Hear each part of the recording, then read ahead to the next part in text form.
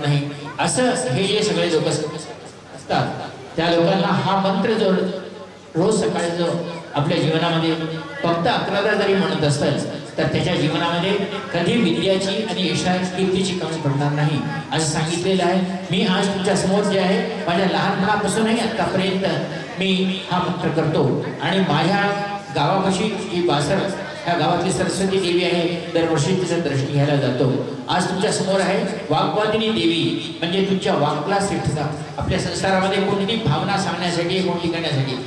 पशुमध्ये आपल्यामध्ये फरक तर फरक आहे. पशु भावना आपली व्यक्त करू शकत नाही. का म्हणजे त्याला शब्द ज्ञान नाहीये. आणि आपल्यामध्ये शब्द ज्ञान आहे आपण आपली भावना व्यक्त करतो. भांडणे होतात तरी बोलण्याकडूनच आणि चांगला शांती होती तरी बोलण्याकडूनच. युद्ध होतात तरी बोलण्याकडूनच. आणि ही बोलायची जी देवी आहे तिला सरस्वती देवी या वाग्देवी म्हणलेलं आहे. आणि ज्यांनी माझ्याबरोबर आत्ता मी जे मंत्र म्हणतो त्याच्याबरोबर मंत्र म्हणता. आणि मी हे सरस्वती सिद्धी करून प्रत्येकांना एक कापी आणि एक पेट देतो. तो त्याच्या घरामध्ये रोज ठेवावा आणि मी मंत्र म्हणलेला रोज एकदा लिहावा. तो त्याच्या पुन्हा मी जेव्हा येईल इथं जर गुरुकृपा झाली आणि अशीच बसत पंचमी पुन्हा साजरी करेल तर तुम्ही स्वतः सांगता की तुमचा मुलगा फर्स्ट क्लास पास झाला आहे नाही झाला किती मुलगा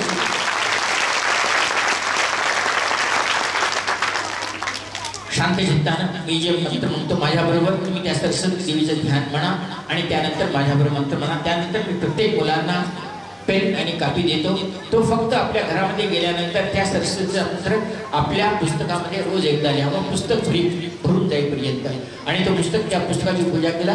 तो निश्चित रूपानं मी सांगतो जर मी सांगितल्यासारखं केला तर निश्चित रूपानं तो जे समजतो तसा विद्यावान होईल आणि बुद्धिवान होईल आणि यशस्वी स्थितीदायक होईल असं सांगतो. माझ्याबरोबर मी जे म्हणतो तसंच माझ्याबरोबर म्हणा. म्हणा शांत शारदा चंद्रकांती धवल चंद्राभि, रामा, ननम, चंद्रार, कोशम, कांत, कुंडल, धरम, चंद्राव, भासाम, शुभम, वीणा, पुस्तक, अक्षर, सूत्र वलय व्याख्यान मुद्रा करे बिभ्राणम कलये सदा हृदि मम शारदा सिद्धये। हे शारदा देवी तू मला प्रसन्न व्हाय मला विद्यापती दे मला यशकीर्ती दे माझ्या आईवडिलावर प्रेम दे माझ्या देशाविषयी प्रेम दे आणि मला विद्यावान आणि यशस्वी बनव अशी प्रार्थना आहे ही.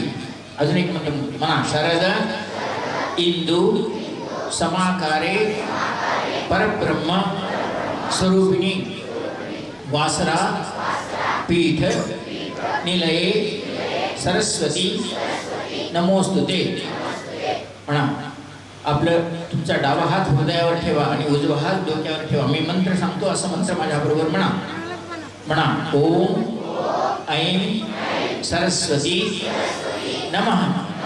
ओम ऐं सरस्वती नमः. ओम ऐं सरस्वती नमः. आता त्या लोकांना हे तर विद्यार्थी लोकांसाठी झाले. विद्यार्थी विद्या देणारे लोक आहेत आणि वकील लोक आहेत. त्यांना वाकसिद्धी पाहिजे दुकान चालवतात त्यांना ही श्रेष्ठता पाहिजे असलेल्या लोकांसाठी मंत्र. जे लोक टीचर आहेत अध्यापक आहेत आणि जे लोक शिकवतात जो आपलं दुकान चालवताना त्याला हिशोब करता येत नाही या बँकमध्ये काम करतात वकिलीचं काम करतात. त्याने वकील गेल्यानंतर चांगलं बोलल्यानंतरच वकील जिंकल्या जातो. त्या लोकांसाठी जे मंत्र म्हणतो, ते म्हणतो माझ्याबरोबर ना जे लोक विद्यार्थी नाही जे लोक आपली काही धंदा, पाणी करतात, या विद्या देतात, ट्युशन करतात, चालवतात, त्या लोकांसाठी. बोला, ओम ह्रीम श्रीम शारदाई नमः. ओम ह्रीम श्रीम शारदाई नमः. ओम ह्रीम श्रीम शारदाई नमः. आता मुलांनी सगळ्यांनी सगळ्यांच्या हातात एक पेन एक आणि एक कापी दिल्या जाईल. ती तुमच्या घरी तुम्ही गेल्यानंतर ओम ऐम सरस्वती नमा ह्याचा मंत्राचा रोज एकदा लिहावा त्या कापीमध्ये. पूर्ण कापी झाली तर इथं जे आयोजक आहेत त्यांना तरी नाही. चिंता केंद्राला आनंद द्या.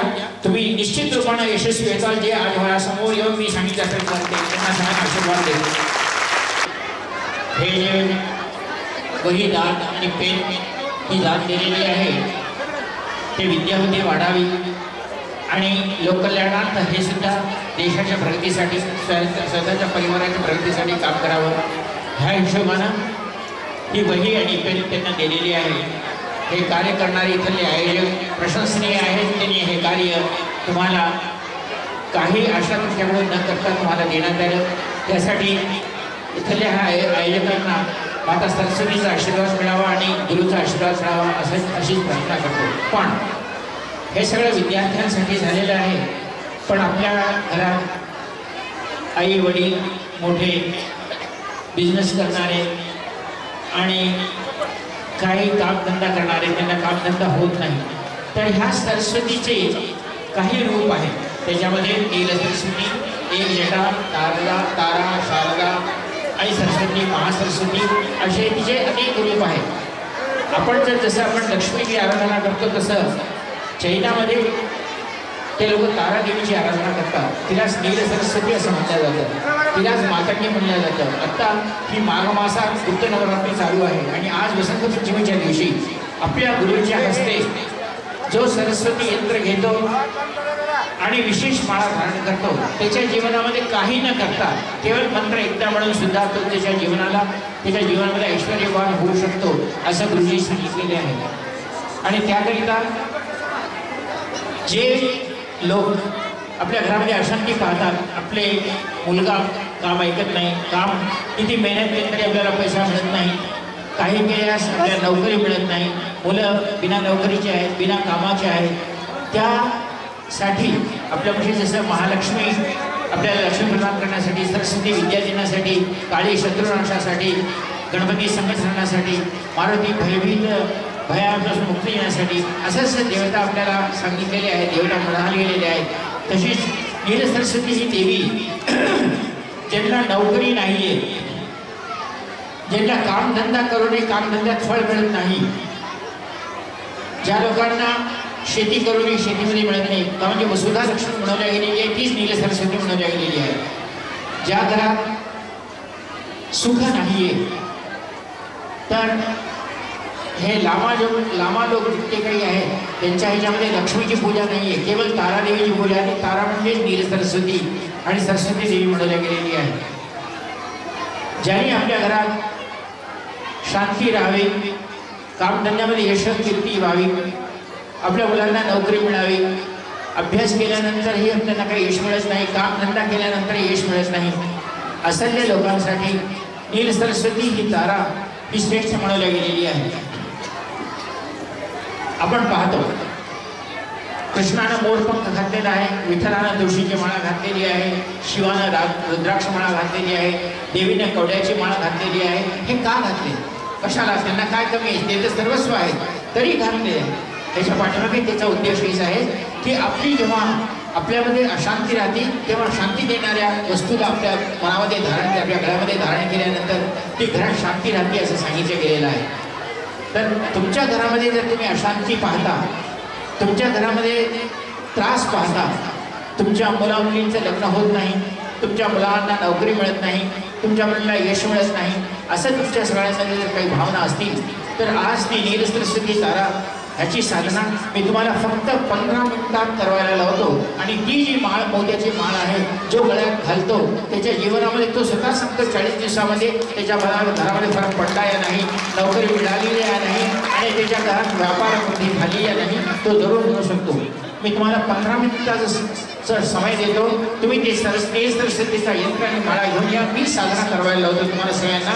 तोपर्यंत आपण सगळे एक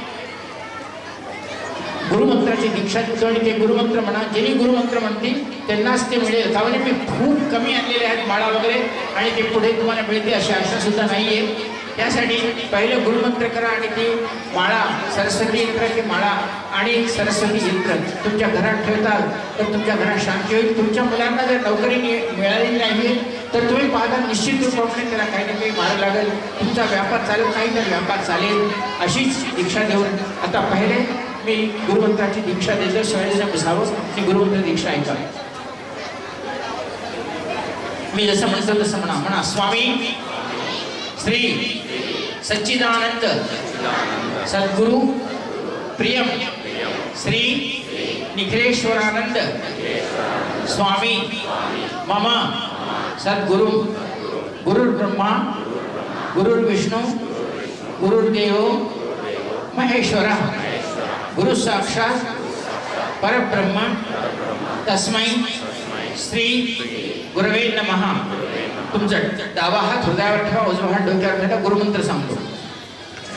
म्हणा, ओम परम तत्वाय नारायणाय गुरुभ्यो नमः. ओम परम तत्वाय नारायणाय गुरुभ्यो नम. ओम परम तत्वाय नारायणाय गुरुभ्यो नमः।